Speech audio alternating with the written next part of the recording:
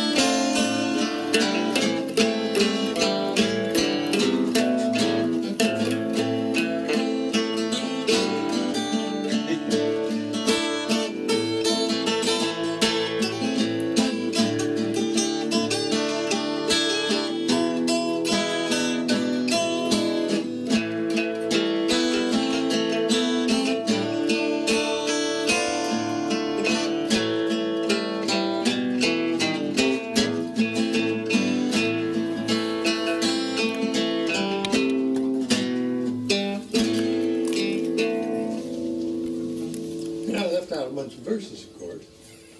I only sang three or four of them, and I never remember them in order. Right. It's the most amazing thing to me because I can learn anything else, but I never have been able to get that one down without screwing it up. And Janis couldn't either. There's several versions of her doing that song, and she scrambles the lyrics just like I do. I don't know, maybe it has to do with the song somehow. Maybe she gets into it, and just kind of get lost. Well, that's what I